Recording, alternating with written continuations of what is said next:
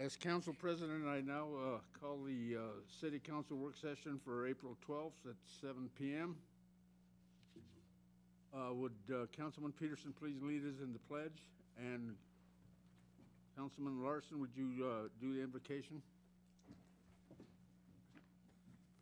I pledge allegiance to the flag of the United States of America and to the republic for which it stands, one nation, under God, indivisible, with liberty and justice for all.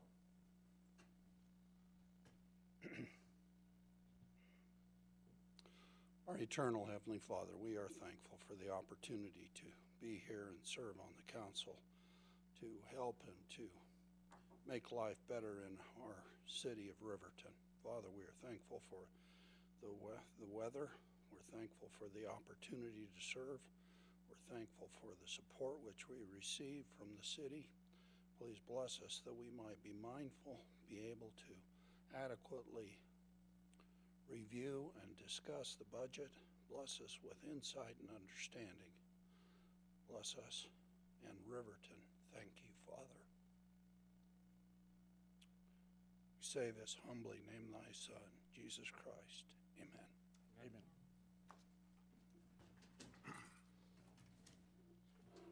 The city clerk, please conduct the roll call. Yes, Your Honor. Councilman Mike Bailey. Here. Councilman Martin Canan. Here. Councilman Kyle Larson. Here. Councilman Sean Peterson. Here. Council President and Acting Mayor Lee Martinez. Here. One, two, one, two, three. So we do have a quorum. I declare that we have a quorum. Uh, The council, uh, the chair would entertain a motion to excuse Mayor John Giles Baker from the tonight's meeting. Motion to excuse uh, Mayor Baker. Second. It's been moved and seconded to excuse the Mayor John Baker. All those in favor, say aye. Aye. All those opposed, same sign. Motion passed. Your Honor, we have one, Yeah, but I, are we okay there? One, two, three, four, five, six, we're pretty much close, five. Holly Gibbons is absent. uh, She is. Your Honor, she's, she's running late from soccer, it sounds like. So she will be here then? Okay, well. I declare that we have a quorum. Uh, uh, The chair would entertain a motion to approve the agenda with one addition, what we will call five A. And that's the Children's Advocacy Group from Casper, here to pr- make a presentation, Miss Heather Ross. So I entertain a motion to uh, add that to the quorum, to the agenda, I'm sorry. Your Honor, I would move that we accept the agenda as amended. Seconded? It's been moved and second to uh, accept the uh, agenda as amended. All those in favor, please say aye. Aye. All those opposed, same sign. Now I need, uh, entertain a motion to uh, approve the agenda with the amendment. Motion to That's- approve the agenda and the amendment. It's been moved and second to approve the agenda as amended. All those in favor, please say aye. Aye. All those opposed, same sign. Motion passed. Can I have one to her? Okay, you're up. And the redhead can get it. Well, thank you. Um, Must have been some miscommunication, so thank you for adding me to your agenda today. I drove up from Casper, and um, luckily, the roads were completely amazing, so I was very lucky um, to come on such a lovely night. Um, My name's Heather Ross. I'm the Executive Director of the Children's Advocacy Project. Some of you guys might recall that I've come in the past to um, request funds from the city of Riverton before. What our program does, we're actually located in Casper, Wyoming, um, but for anyone who's new, we provide provide a service for your law enforcement investigators, your Department of Family Services investigators, as well as your um, county attorney when they're investigating victims of crime, specifically those victims being children under the age of 18. The majority of our cases are um, alleged victims of child sexual assault, but we also work with children who have been victims um, or witnessed domestic violence, um, kidnapping, homicide, uh, and other activities like that. So um, we've been providing services in Casper since about 2002. We've actively served Fremont County during those years. Within the last few years, we were able to open up a center located right here in Riverton. We had that center up and running for two years while we tried to establish uh, full-time funding so that way we could establish a center and keep it running. Unfortunately, um, the state of Wyoming had other choices with their funding, and we were not uh, granted additional funds to keep that program up and running. So we had to shut down the Riverton Center, but we're still pleased to be able to offer those services in Casper. Um, one of the reasons I come to you guys today is I make this trek across the state of Wyoming to ask for funds from various city and county uh, municipalities to keep our program open and running. I'm not sure how many of you guys received our annual summary report, but if you have a copy of this, you'll notice that there's a map of the state of Wyoming. And on the map, you'll see the number of services that we provided for each county. Does anyone need a copy? No? So you'll see that there's a map for each of the counties. Um, last year, we provided 323 forensic interviews to children who were alleged victims of child abuse. 40 of those cases came directly from Fremont County. So a pretty significant portion of the um, cases that we conducted, in fact, 12% came from Fremont County. Out of Fremont County, the majority of those cases came from the Riverton Police Department and the Riverton Department of Family Services. Um, the forensic interview is um, really kind of a unique service. Uh, we're only one of three programs across the entire state that conduct forensic interviews. There's a program in Jackson, one in Cheyenne, and ours in Casper. As you can see from the map, we serve about two thirds of the state of Wyoming. Um, to be able to provide that service, we do not charge uh, anyone for the service that we're providing. Instead, we ask for some support from municipalities to be able to keep those services up and running. Um, the amount of funds that we've received from the city of Riverton in the past was $4,500. We're asking for that continued funding. Um, this is not different from any of the other counties that we serve. Uh, in fact, many of the counties we request a total of $6,000. Um, so it's very in line. As you can see on the funding requests, that although we provided 12% of our interviews um, for Fremont County, we're only asking for about 0.9% of our overall budget. Um, 4,500, uh, whether it sounds like a lot or a little, uh, it ends up being a lot when it comes to our operating budget. Many of our funds come from local um, city and county funds when they're interjected into the entire budget, whether it's Carbon County or Bighorn County, um, Washakie County, Converse County, Platte County, they all go into a fund to help provide the services that we offer, mainly um, being able to um, hire our forensic interviewers to be able to conduct that service. So that's us in a nutshell. I appreciate um, the chief being here today. Um, we, like I said, we were really sad that we had to um, close down the Riverton Center, but we truly believe that we're still being able to um, conduct business in a um, efficient and feasible manner for all of Fremont County and being able to get the best services possible for your child victims. Do you have any questions I might be able to answer? Anybody have any questions? Mr. Bailey? Um, Your Honor, I- I guess a couple of questions. Um, I assume that since you don't have a center here anymore, that you just travel here to do the interviews as needed? Thank you for asking the question, Councilman Bailey. Actually, what we do is um, the child drives to Casper. Um, they're um, usually brought with a parent who is um, providing the transportation, and then law enforcement, the Department of Family Services, also come to Casper to watch the interview as it happens.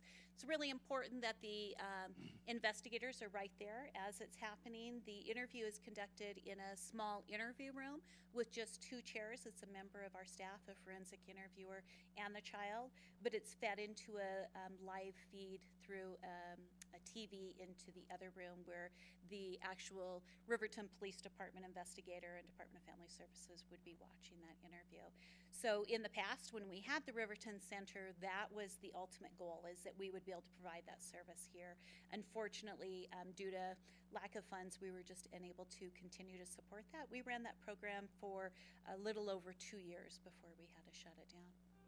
And then my other question would be, do you also go ask for funds from Lander and Fremont County? Or are we the only one in the county? Yes, sir. No, we go and ask for um, funds from um, the Fremont County Commissioners, who have been very generous in the past. We hope that generosity will continue.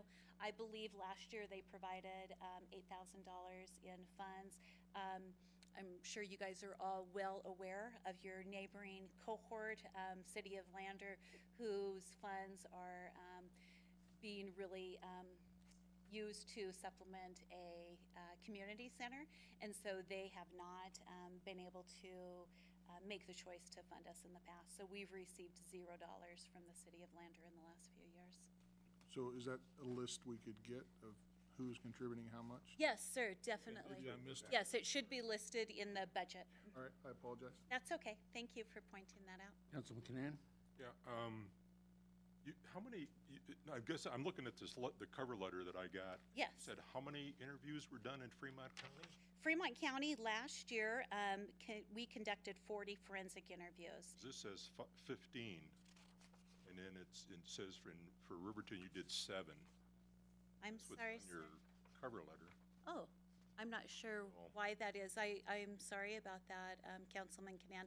On this, um, uh, here you'll see that the actual forensic interviews conducted were 40. I apologize for any um, typo or error that was done on the letter itself.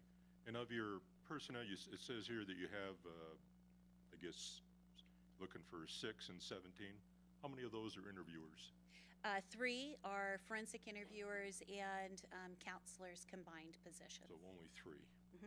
Uh, The other positions, myself as the executive director, we have uh, one position that is an office manager. So currently, we have five total positions. Uh, Next year, we're looking at increasing that to six total positions. That would include a child advocate, child and family advocate. The child and family advocate's role is to really help the family through the investigative process as well as the prosecution to keep them informed of what's happening, help them fill out um, paperwork, um, to follow up with them, make sure their children are receiving counseling. Um, what we see is you'll be familiar with child advocates or family advocates or victim advocates, as they're sometimes called, uh, with local law enforcement agencies, with domestic violence shelters, and their caseloads are way below 300. And so we're running a very high caseload for a combined position. Yes, sir. Anybody else? Now, it's my understanding that, that uh, we, we can't make a decision tonight because this is just a work session, so we'll have to wait till the next meeting before we either approve or disapprove your funding request. I appreciate that. Thank you. Your Honor, the other thing that we're doing is, uh, it's gonna go in front of the Finance Committee first, and then they'll recommend what, their recommendation will come to the council. That, that again will be next week, right? No, no. People are just now submitting what they want in ways of budget to us.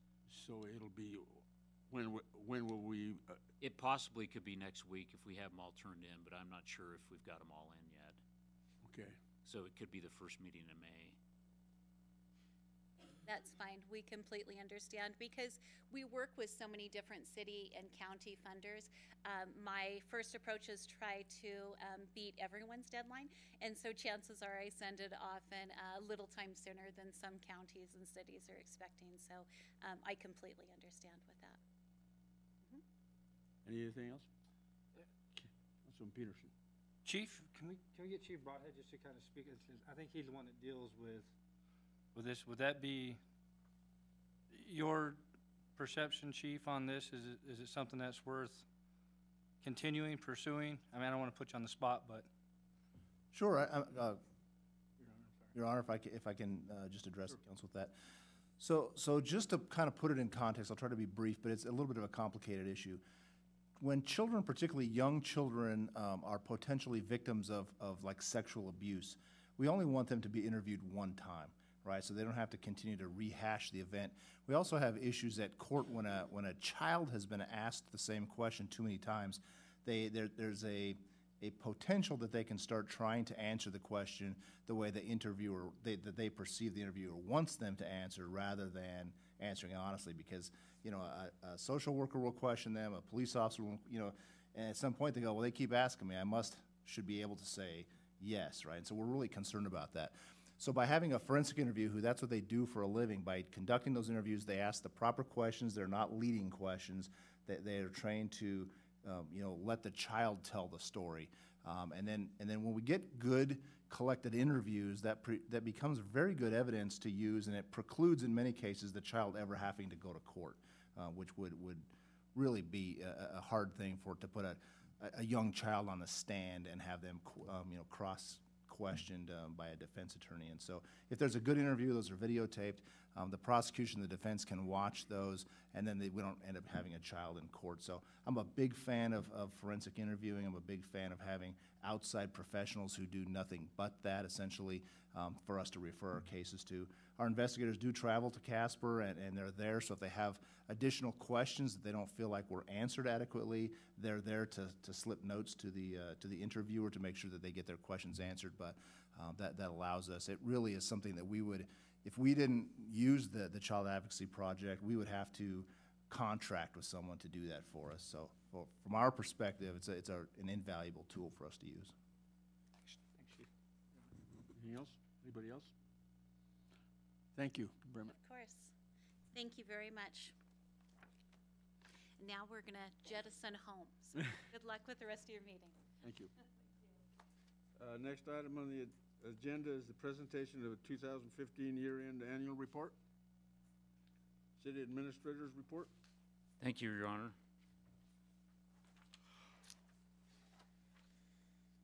So first off, I, I would just like to thank all the employees for the city of Riverton. Um, Do a great job for us, and uh, this annual report shows all the things that the city is involved in. Um, Each department put together their own report, and then uh, Megan compiled it all into one report. And so I'd like to thank everybody that put their effort into preparing this. Um, it is amazing all the things that the city's involved in. Sometimes you, you forget all the things that we do. So I'm going to briefly go over some of these. You're not going to, um, I'm not going to go through each one in, in detail. That's why you have a copy in front of you and encourage you to read it in detail uh, later on. So here's a picture of all of you lovely people. Um, and a little message for myself there. Um, what, a couple of projects that, that we've been working on for many years that have been accomplished in 2015, kind of 16. The first was the Wind River Job Corps. That was something that has been going on for at least 10 years, if not more. Um, and that was finally accomplished and dedicated in, uh, in the summer of this last summer. The Honor Farm property um, has been worked on for over 10 years with trying to do a land swap, and then more recently to purchase it. That occurred today. And um, someone purchased that property, uh, a private developer, and hopes to develop that in the future. So that, that was good news. So that didn't necessarily happen in 2015, but pretty close. Um, and then the final one was air service. That was something that was worked on for many years, and that was finally solidified in 2016, but a lot of it was done in 2015. So we'll start with the Administrative Services Department. That's under the direction of Courtney. Um, So we have in the Administrative Services, we got Finance, Human Resources, Utility Services, a Municipal Court, Information Technology, and Facilities Maintenance. In the Finance Division, um, you can go on our website, you'll find the, the budget is on there along with the audit report. So that's uh, available for the council and also any, any members of the public. Uh, We've had a clean audit for the last couple years, so that's a big kudos to our finance division. And then under the uh, key trends, one of the things I wanted to point out was capital outlay projects either completed or construction in progress significantly increased our net position by over 500,000. And that was from a lot of the projects that we completed in 2015. Human Resources, uh, that's Kristen Watson. Uh, the Human Resource Department spent nearly 115 hours on two major cleanup projects, which include liquor license files and personnel files, going through and making sure all the documentations are in all those and they're organized. this year, an employee assistance program was introduced to all city employees and their families in an effort to give our employees an avenue to help with everyday stresses in life.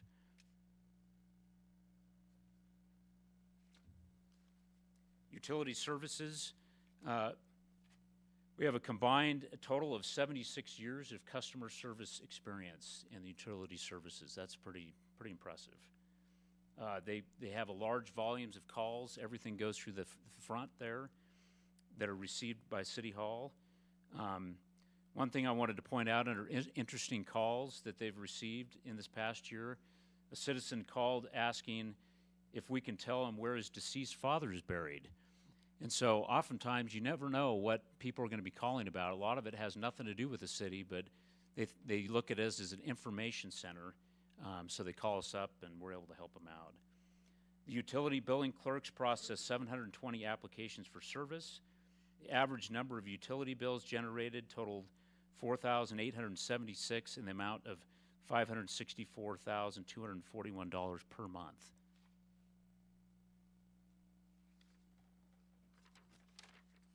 Uh, Municipal Court, uh, this is Lila Thompson and Megan Miller. Um, just right at the bottom, I was going to point out the court's revenue for 2015 totaled 115 $150,883. Also in 2015, the court had 5,255 open cases, including 1,508 new cases. Information technology, that's Tim Hugis and Adam Wyrick and Alex Engelhard, and he's back there in their room right now. Um, obviously, the two largest projects they worked on was the first, our sound system here in the City Hall, in the council chambers, and also in the court. um, at the end of the day, we gained the system stability that we needed for so many years digital recording, remarkable sound quality, and much more. So that was a, a great addition, and they put a lot of time and effort into that. Facilities maintenance uh, under Keith Jones. A uh, few projects they worked on this last year was refurbished public services office. Uh, they helped with the new security access control project and installed retrofitting LED lamps in both airport terminal and city hall.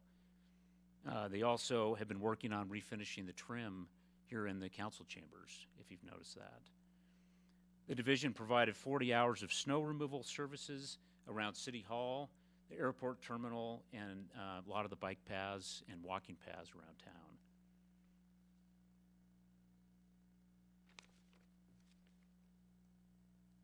Community Development Dep- Department under uh, Sandy Lures. Um, there's quite a few pictures in this one. Obviously, we had the grand opening of the Wind River Job Corps, which was a big project for the Community Development Department. Uh, that ceremony was held on October 5th, 2015. Uh, the department expended over 350 hours of inspecting on that project.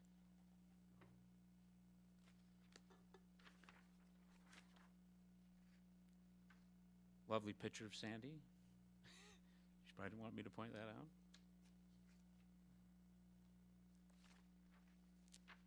A couple of the commercial pro- uh, projects that went about. Uh, we had the uh, Moss Orthodontics up on Sunset, uh, Little Caesars, uh, Dairy Queen, and a remodel in the Country Cove.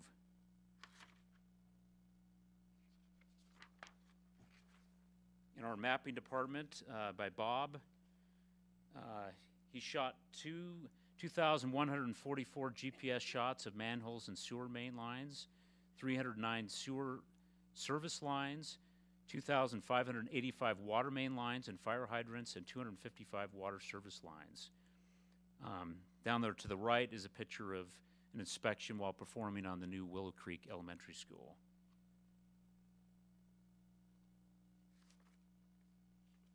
This is a picture of our uh, Construction Board of Appeals, which assists the Community Development Department with issues affecting building construction in Riverton, and hears and decides appeals from orders, decisions, or determinations made by the building official. Um, And they have started the process of going through the codes for the new 2015 codes that should be adopted in July 1st, 2016. And so they, they have a lot of work ahead of them, and they've done that in the past.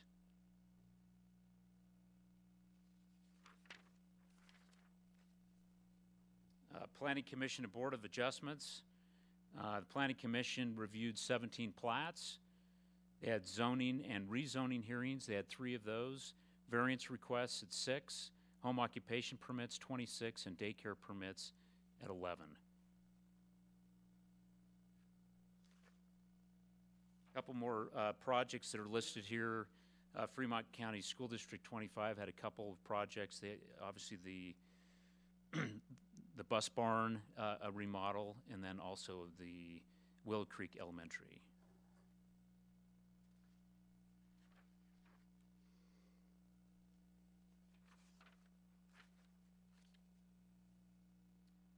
Uh, the, this is uh, Christy Peterson and the permit technician.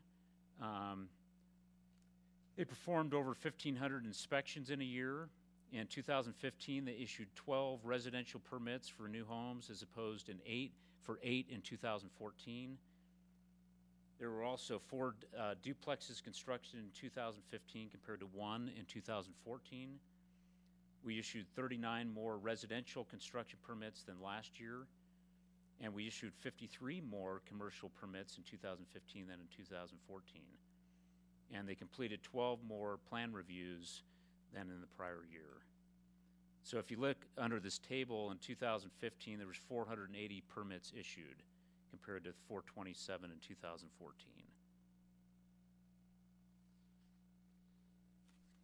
Code Enforcement Division, um, this is just to help maintain and improve the quality of life in Riverton neighborhoods by enforcing the violations to pure, to ensure public uh, compliance. As you can see, there's a lot of things that the code enforcement officer works on and cites people for, all the way from abandoned vehicles down to weeds and fences and hazardous waste. Uh, total violations 480 for 2015.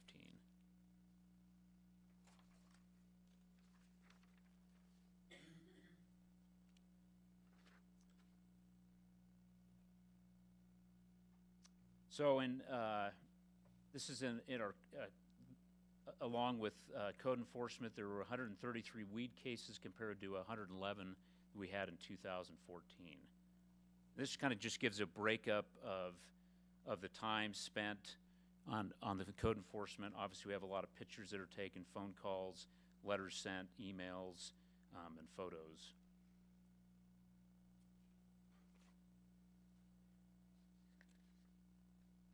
So this is the uh, Police Department Annual Report under uh, Chief Broadhead. We had three new officers join RPD in 2015, and also one new dispatcher. A couple of activities that they're involved in is Shop with a Cop, and that, that's been in the 10th year. Also, they partnered with the library to show the film Havana Curveball. Anybody ever seen that one before?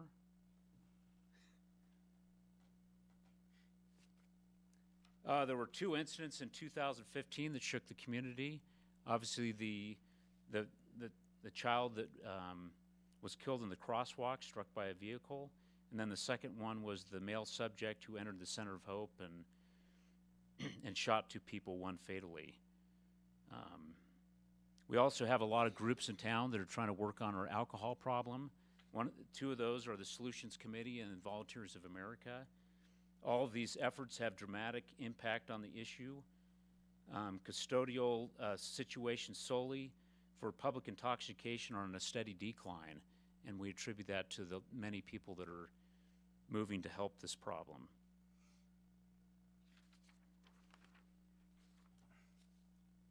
Calls of service, um, we had uh, 13,056 uh, police reports uh, in 2015. Under patrol in 2015, officers issued 1,229 traffic citations, 1,610 written warnings, and officers arrested 1,822 persons in 2015 for a total of 2,539 offenses. Can we interrupt real quick to ask one question? Chief, over and looking at the burglaries, do you have a, just a, a reason as to why the big jump in that? That, I mean, those, that appears to be the only one that really dramatically increased. Do you have a, have any guess as to what caused a jump from like in the, in the thirties to all of a sudden over more than double? Your Honor, we, we looked at that pretty hard, and we, there was no pattern to that. We didn't have a specific, like a pattern burglar that we caught that had, you know, done, had been individually responsible for a lot of burglaries. I, I tend to think it might be one of those statistical anomalies that, you know, maybe we had clusters in January and December that typically are spread out between years. Uh, I, I really don't have an answer for, for that. We could not find a pattern to it. That, that seemed to be the only number on the whole graph that all of a sudden seems to kind of blow up. Yeah, I really suspect that uh, in 2016, that number is going to return, you know, much closer to normal, and then we'll have to take a look at it. Really, I think statistics, particularly when we're dealing with such a small data sample, uh, really we need to look at those in, you know, three, five, and 10-year increments before we even see a trend. And, and so I really don't think that there's anything happening that's going to create a trend for burglary, but we'll just have to watch it. Thank you.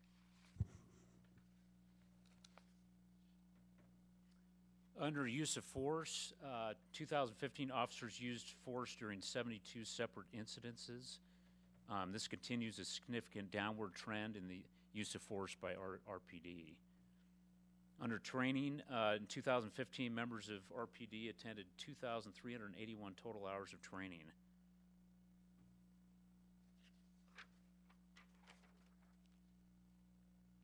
Under detectives, uh, this year detectives filed a total of 31 felony cases with the prosecuting attorney's office.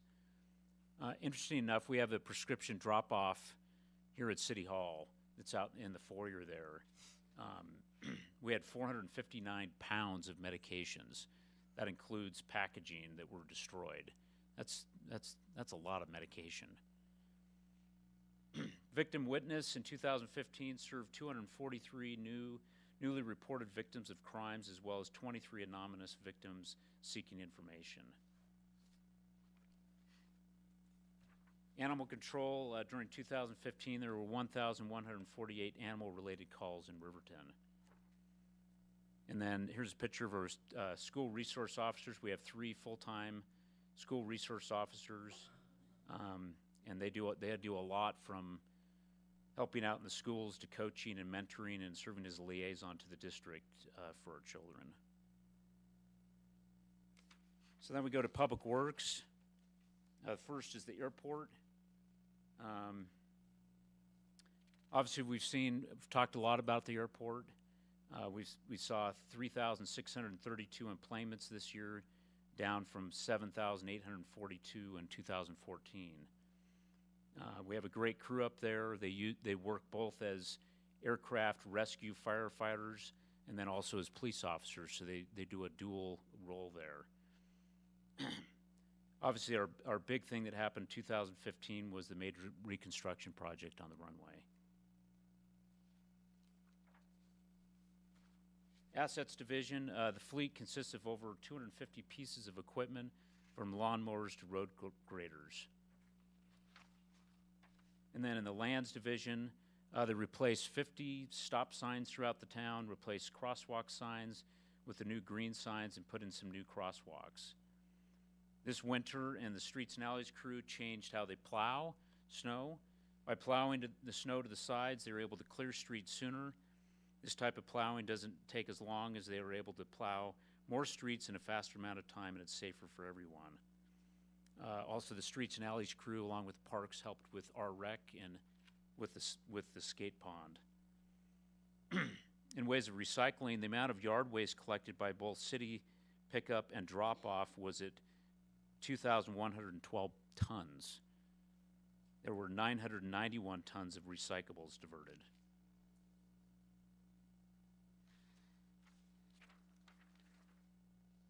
Uh, in the Lands Division Parks, uh, they maintain an estimated 111 acres, including 13 parks, baseball and football fields, trail systems in their facilities. the Parks Department installed uh, three pieces of playground equipment at Teeter Park, which replaced 35 year old equipment. A new handicapped accessible entrance was added to the south end of the playground at J.C. Park, and four benches were placed on a five foot by eight foot concrete pad for parents to observe their children playing. and then we also had the addition of, of the skate park in City Park. Under weed and pest, uh, we started fogging earlier in 2015, started on June 16th. The mosquito season lasted longer than usual and ended um, on the 2nd of September, which was three and a half months. In that time, we went through roughly nine drums or 495 gallons of, well, I thought it was something else, but any, anybody pronounce that? Bug spray. Insecticide. Yeah, insecticide. Um, This is in our water treatment plant. The total for 2000, no, wastewater treatment plant, sorry. The total for 2015 was 708.56 million gallons with an average daily flow of 1.94 million gallons. That's a lot of uh, treatment. Uh, in our bi- biosolids, which I always put a plug in there for biosolids. If you want your garden to grow really well, get some of those biosolids and mix it in, and uh, they will grow really well. This year we sold 73.5 cubic yards of biosolids at $10 per cubic yard. The wa- wastewater treatment plant has 173 major pieces of equipment and over 120 pieces of support equipment.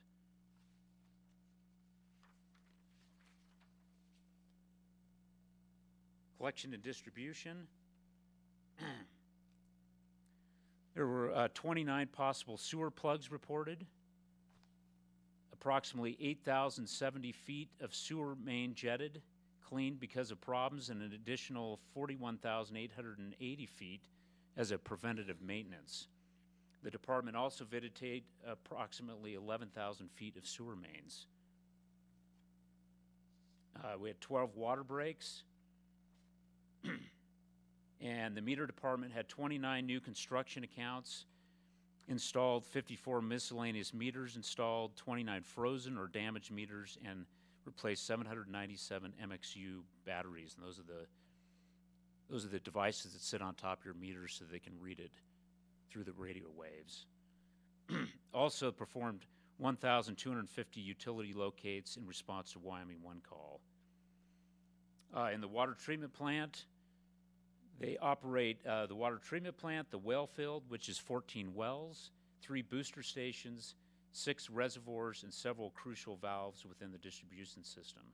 There was no EPA violations in 2015, and they treated approximately 754 million gallons of water, compared to 729 million in 2014.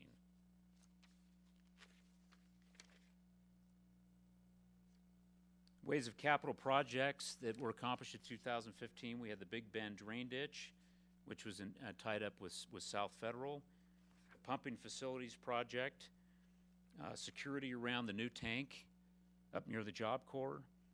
uh, the city also continued upgrading the water treatment plant with the um, high service pump project.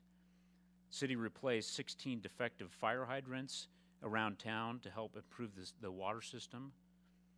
Uh, 1% funds, we had three neighborhood concrete projects, four resurfacing projects, and one accessibility project. the city's infrastructure currently remains with approximately 68.2 miles of sanitary sewer mains, 67.9 miles of water mains, and 125.6 miles of paved streets. And that's just a few pictures of some of the capital projects for 2015. The one that stands out to me is this old high-security pump at the water treatment plant. That looks, that looks pretty rough. So it definitely need to be changed out. So is there any questions about the annual report?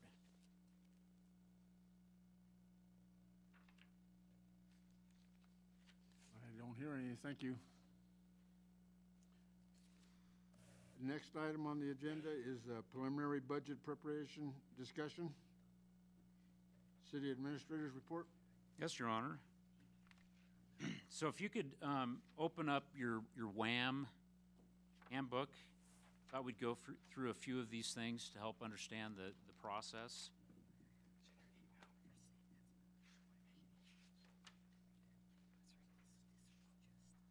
So the first one is on page six. I was going to just highlight a few. Uh, the state of Wyoming creates its budgets based on revenue forecasts, not on actual revenues received. And the CREG report that you've heard once in a while, which is the Consensus Revenue Estimating Group, is the official estimating body for all revenues received by the Wyoming state government. In 2000, January of 2016, the CREG report uh, reported that the current biennium was 32 million in the negative. And then the state would be at 438 million short of revenue in the upcoming biennium. That's the budget that we're going into. the Governor Mead uh, has been a strong supporter of cities and towns. He was recommending a $90 million for cities, towns, and counties for the biennium. And the legislature did three things. First, they increased the distribution from 90 million to 105. And then they changed the distribution formula, which was beneficial to Riverton, and we'll talk about that later. And then they also, they changed the yearly distribution from August. They used to give us a lump sum of the, of these payments in August, and now we're gonna get it in August and in January. Okay, so let's move on.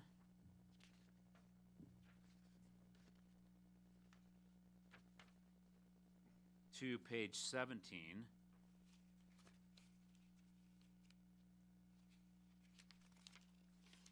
So all state shared revenues are distributed to cities, towns, and counties through formulas set by the state legislative action. So in this handbook, uh, we're gonna go over a few of the revenues that we receive from the state. That's cigarette tax, federal mineral royalties, severance tax, sales and use tax, gasoline tax, special fuels tax, which is diesel, biennial uh, direct distribution funding, parimutuel funding, and Wyoming lottery. So the next one on page 18 is cigarette tax. Um, This is a tax on anything, you- you buy a uh, pack of cigarettes, and it's 12 cents per package of 20, 20 cigarettes. So this is just what they are, and then we'll get into the funding and how it's going to affect Riverton. On 19, uh, federal mil- mineral royalties, this provides that 9.375% of up to 190 million of federal mineral royalties, not including coal bonus funds, received by the state of Wyoming annually will be distributed to cities and towns. The distribution formula is unique. First, each city or town has a population over 35 receives a base of $15,000 per year. And then it's calculated on the average daily uh, membership, as you can see below here.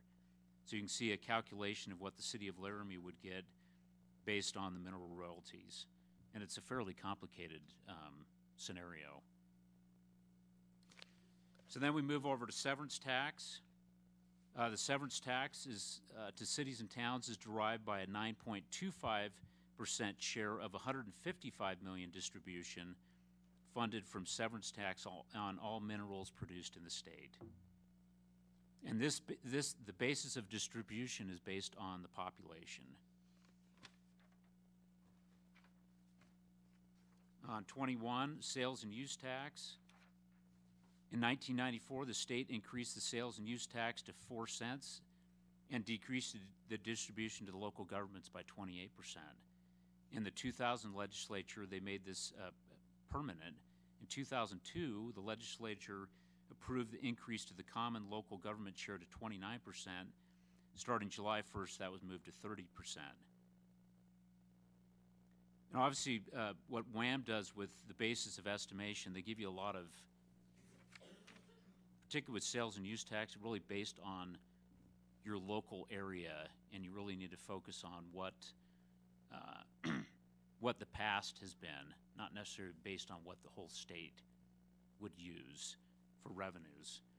So the current distribution is thirty-one percent to cities, towns, and is based on a two-part formula.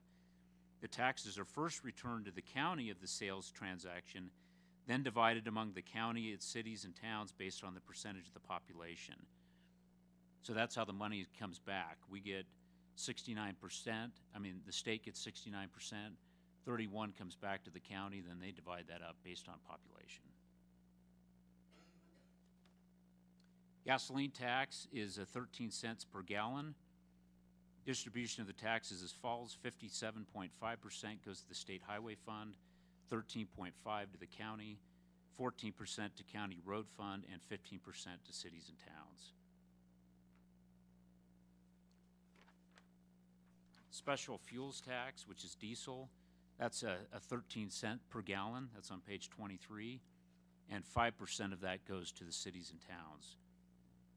Um, on the distribution, five percent share of the tax based on the ratio that the total population of the municipality bears to the total population of all municipalities within the state. So as you can see, a lot of these formulas, I mean, th- there is, there's not a lot of rhyme or reason to them, I and there's, they're fairly complicated. Supplemental direct distribution, that's what we talked about um, in the beginning. This is the over-the-cap mineral revenues that flow through the state general fund to this account prior to the general session. And so the legislator approved the 105 that will be um, split up in two payments, which may be an issue for us in the sense that we're used to getting that up front, and so there won't be as much cash flow um, to sustain us through the year. The other thing that we didn't get out of the state legislature is we have no county consensus money, so that was zeroed out. What, what, what, and we'll, we'll, we'll talk about the money a little bit later here as we go on. So then we have parimutuel commission. Riverton doesn't have that, so we don't get any money. Um, It seems like we did have that some time ago. We did have parimutuel that they were doing in bombers, but they obviously don't do that anymore. So there is some revenues that come back to the cities um, if you have parimutuel betting within your, within your city. The Wyoming Lottery, this is a, this is a new source of revenue for the city. Uh, They finally have paid off all their debts, and now they're ready to start distributing it. Um, It says until uh, June 30th, 2022, the first $6 million in each fiscal year of these monies shall be paid by the treasurer as they accrue to the treasurer of the counties, cities, and towns for payment in the respective general funds. The percentage of the balance will be distributed to each county and its cities and towns will be determined by computing the percentage that net sales tax collected attributable to vendors as defined in Wyoming statute. And so, uh, we'll be receiving a little bit of, of revenue. It's not a lot. So, Your Honor. Yes. So what that means is that you're gonna get receipts based on your sales tax. yes, So Riverton with Walmart will vendor better than Lander without Walmart. Yeah, and you can you can really see that eh, when we go through the actual numbers here coming up. You'll see how some get very little and some get quite a bit more. Thank you, tribes. so the first one is the cigarette tax on page 28, and you just have to scroll down till you find Riverton. Um, we're estimated to get 72,674 that's up by $3,227 from the year before.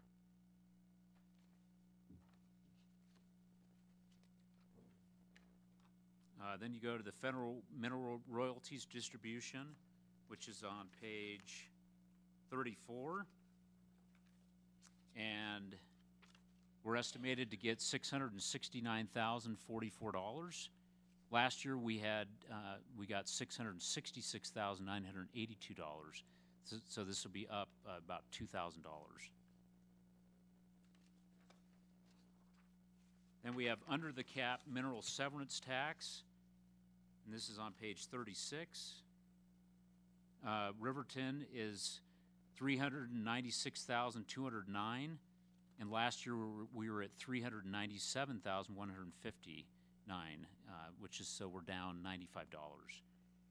What's also interesting, I don't know if you've noticed this as you go through these tables, is the populations they use in these are all different. There is no rhyme or reason. Some of them are ten thousand six hundred and fifteen, some are six ninety-five, some are ten thousand nine hundred. And so it, it's all, can't get a, a rhyme or reason answer for that. So you're saying Riverton, excuse me, Your Honor, Yeah, go ahead. you're saying Riverton doesn't have the same population in all the calculations? They don't, Your Honor. And that reason is, we don't know. Yeah, I, I think it's, because you have two, you have two populations that are, that are set forth. You have the census that comes out every ten years, and then you've got, uh, University of Wyoming that adjusts your population every year based on building permits issued, and, and so that goes up. So apparently, these are all have different numbers that they use or come off of instead of saying we're just going to use the census for all of them. Because I think I think the, the, University of Wyoming had us at 10,917, I think, is our population. But if you go back to our census one, I think we're at 10,617.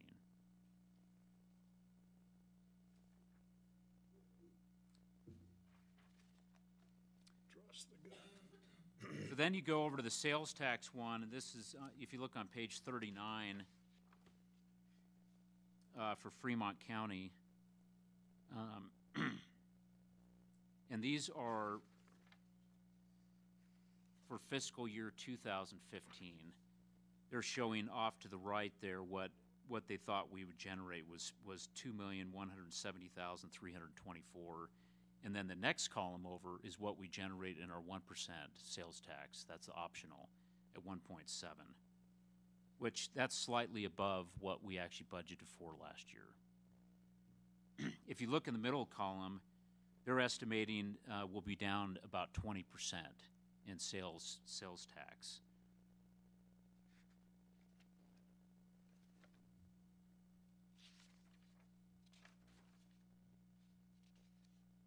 Okay, then you go over to um, page 45.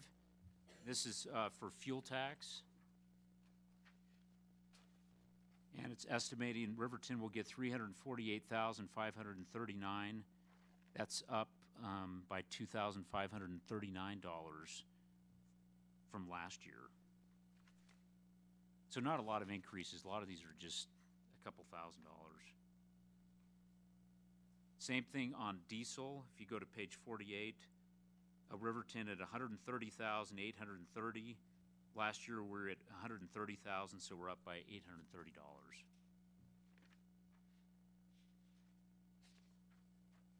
And then the direct distribution that we've talked about before is on page 52. Um, as you can see, uh, Riverton last year got $876,922. We're estimated this year to get one thousand one hundred and eighty-two dollars, I mean, one million one hundred and eighty-two thousand sixty-two dollars, which is an increase of about three hundred and five thousand one hundred and forty. And that, that is because they changed the distribution and it favored us better. Some towns got less, some got more. So in our case, it was beneficial to us. And typically with these kind of monies, since we can't count on them every year, we've never put this to operations. They've, they've went for, uh, third-party requests, contract for services, or we've put it to capital.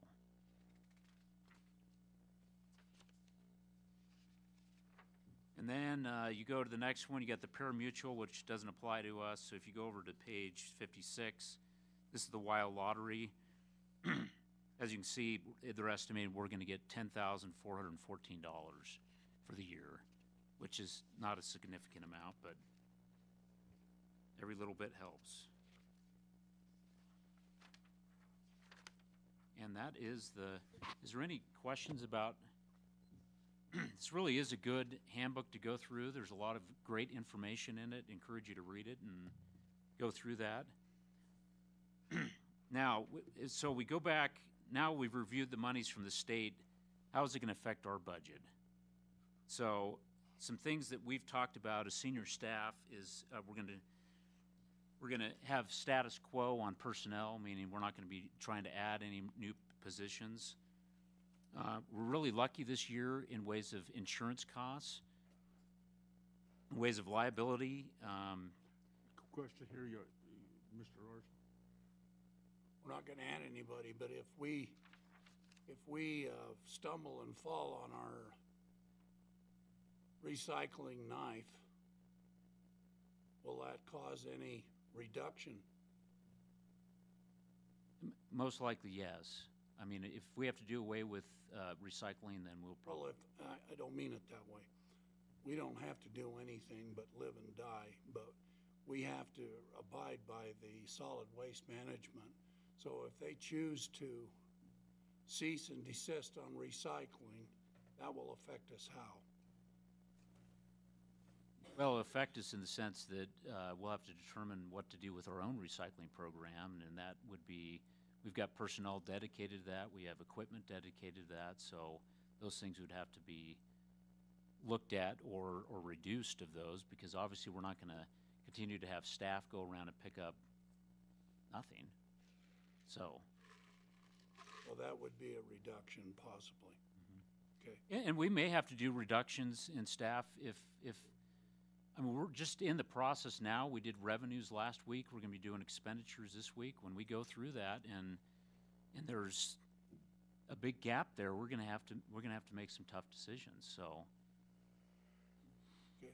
But I guess our goal is to kind of keep it as best we can. So back to insurance, particularly in health insurance, which is always our biggest one. This is the first year we have a zero percent increase.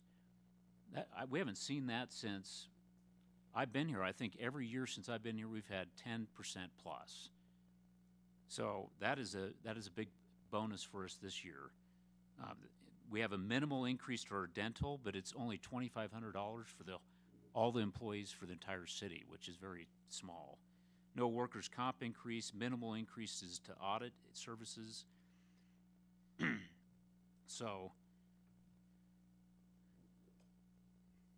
even, even though we will be receiving additional monies from the state, um, like I said before, we're not going to be getting that consensus monies. That consensus monies we've typically used for capital projects. and that is money that flows to the county, and then the county group gets together for all the cities, and we decide how we're going to spend that money. Excuse me. Um, I think for contract for services, you know, we had one coming today. We may have to heavily look at those in ways of, of any sort of increases or maybe even little cuts here and there. Um, I, Your Honor. One more question.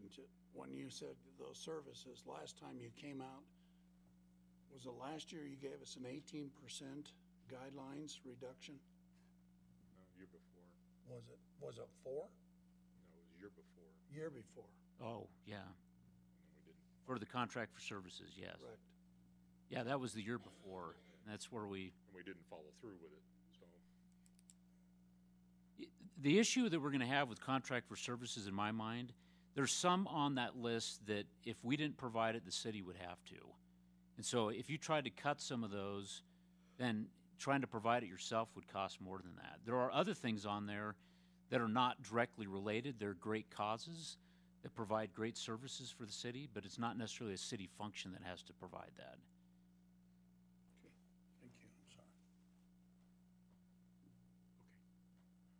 I'm sorry. Um, So obviously, and I'd, I'd explained this earlier, with the third-party requests for contract for services, these will, we're sending a letter to every one that currently receives funding from us. We're gonna ask them to submit what they're requesting, some justifications for that. That will go in front of the finance committee, they will review that, and they'll make a recommendation to the council as to what should be the best funding uh, options. Uh, if you if you look over council goals that we set couple months ago, uh, there's a few of them in there that require money. Obviously, it's all going to be based on budgeting and, and how we can make that happen. Uh, one of those in there is, is restoring pathways like pavement restoration and lighting. Obviously, that's going to be some cost. So, um, the other one was uh, increasing our code enforcement uh, staffing a little bit so we could have a little bit more of that, and then supporting the splash pad. So, when we talk about all these actions, it's it's all going to affect the budget overall, and it's it's going to be it's going to be tight, and so we're going to have to look at all options. Um, one thing that Courtney brought up on this uh, supporting the splash pad is that we have a community gas grant that we get. It's about seven thousand dollars. That could be something that we could earmark or put towards the splash pad. It may not be what they're expecting, like we gave to the skateboarders of like forty thousand dollars, but it would be at least something, because it won't be built for another year past that, so it'd be something that'd be carried over. But I think those are the kind of things we're gonna have to look at to make this work. Um, some of the projects that we have, have to fund this next fiscal year, we obviously have North Federal, which is, uh, water and sewer improvements, and then the stormwater. And, and that may be where we're restricting funds in our cash balances so that we can have that for the future. We've already done that for, for some of them, but we may need to do more. Um, airport, um, we're, we're gonna have some expenses there. Um, reduction in revenues because of the incentives and the loss of TSA and or Grant, Great Lakes. I mean, we're gonna have some, and we're gonna have to make it up through the general fund that way. Also, additional monies for the MRG and Forecast Inc. In our police department, we have something that we have to address in, by August, and that's a WyoLink radio system. And we're estimating that's gonna be somewhere in the, in the neighborhood of two hundred and fifty thousand. We thought it was gonna be five hundred thousand, but, uh, the state is willing to give us grant for about half of it. So those are kind of the musts that we're gonna have, that we have out there that we've already committed to. And then there's obviously gonna be other needs that come up, but we're gonna have to be looking at all of that, uh, this next fis- fiscal year to see if we can even make those happen. So I guess my question to all of you is there, um, is there any questions about the budgeting process? Um, are, are there items that you'd like to see in the budget or, uh, we want to make sure that the budget process is as transparent as possible? Uh, we'll also be setting up individual times for council members to come in and visit with staff and go through the budget, answer any questions on a, on a one-on-one basis. I know that helps out. So is, are there any questions or, or comments? Your Honor? Councilman Bailey.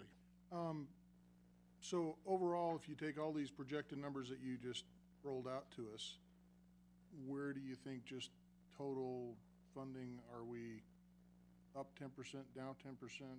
I mean, where, where are we at? Or is it too early to tell?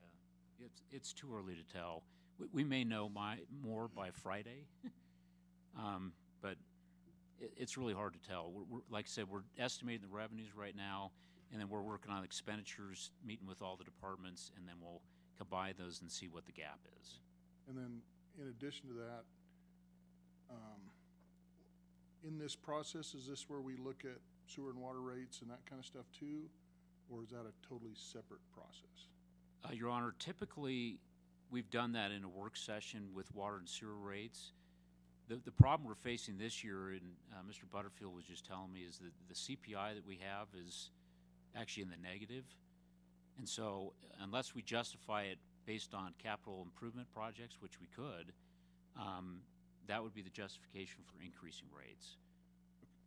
Which I guess, that's one of my major concerns is with the future expected expenditures we're gonna have with the North Federal Water Sewer, Storm Sewer System. You know, I think we need to be a little bit, you know, Proactive. proactive in the situation and making sure we build up some reserves. And I think we actually have maybe been a little lax in the past, not getting a two or three percent increase with, you know, cost of living kind of an increase and keeping those reserves fattened up because You know, those, that's a big old project coming down the road, and we're not gonna have the reserves to pay for it, so. Well, if it's, if it's a desire of the council, that's certainly something we can bring forward and, and, and bring a recommendation to the council, because uh, the way it's written in the ordinance is we're supposed to bring it, I think, every year and, and at least up it by the, the CPI, but in this case, it's actually a negative.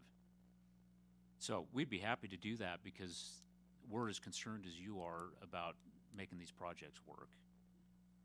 And, and then, if I can ask one more question. Sure, go ahead. Um, with regard to staffing and wage levels, is that the discussion we're gonna have too in this process? And I'm just concerned, for example, I think there's some departments within the city that we may not be paying up to what I'd call a statewide average, and there's probably some that we're paying more, and I, I guess we need to look at those. Again, with this economy changing, you know, there's some places to look there to see if we're still competitive and fair and all of that too, so. Uh, Your Honor, we haven't really dove into that that much because we thought this year we're not going to be able to do much in ways of personnel, just because, if anything, we're we're staying the same or dropping. And so, once you open that can of worms of seeing, doing research or studies on those, if you don't then follow through with what you find out, and I don't know if we could follow through because then we would be paying out more instead of paying less. But that's. Yeah, I, I don't know the answer to that, but I guess it's something that we have to look at in the big picture also. Yes.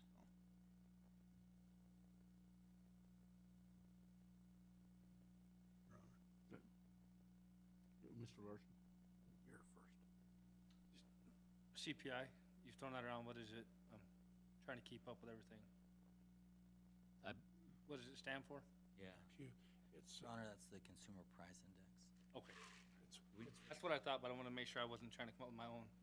I had some weird definitions going on in my head, so. Councilman Larson?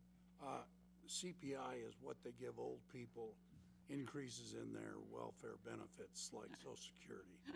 How many years till I get? Uh, uh, you're not getting any. Uh, We're doing away with it as of, uh, if you're over fifty-five, you get it. If you're fifty-four, you don't. Anyway, um, how much time does the, do we get on the budget committee to go over this? Will we get a special session or? d- Yes, what? we will have a work session that can be one or two days. I think we have scheduled in, well, it's right in here. If you look at your budget calendar. So the, It's obvious I haven't. yeah, so if you look on May thir, May ninth to thirteenth, preliminary budget discussion with council members, and then the work session is scheduled for May seventeenth, Okay. and that's with the council. We'll also be doing one with the finance committee, too. That's what I'm, Yeah. that's all I'm talking about. Oh, okay. Finance committee. Oh. I thought you were talking about the whole, No. yeah. So, sorry. So, Councilwoman Hall? Unfortunately, I'm not going to be here next Tuesday. So can we push that so I can be here for it since I'm chair, or how does that work? The finance committee? It's in May. Oh, May, Yeah, not April. May. May. Yeah, you- Okay, May. So, ex-nay that idea. So, um, my other question is, is that I, I mean, I'm, I've kind of heard, I guess it's not all one hundred percent, but we've kind of heard that certain people are retiring. Um, and so are we gonna be replacing those positions? Are we going to just do away with them? Are we gonna outsource them? Like, what's your plan for that? Your Honor, I think for a lot of them, I think we're going to be replacing them. But a lot of it's depending on looking at maybe restructuring. It may be that these certain positions need to be looked at a little bit differently. And, and not necessarily that, so, so you have a position, they leave, and the only way you can really figure out what you want to do with them is kind of leave those for a couple weeks and determine where's the best way to maneuver them into other departments. Um, but yeah, we have every intention to at least cover the our basis of what we what we have right now.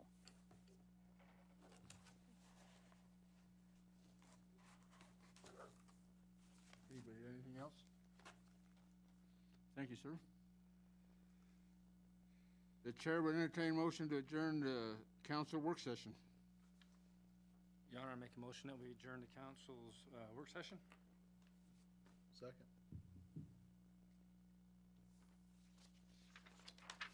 Any discussion?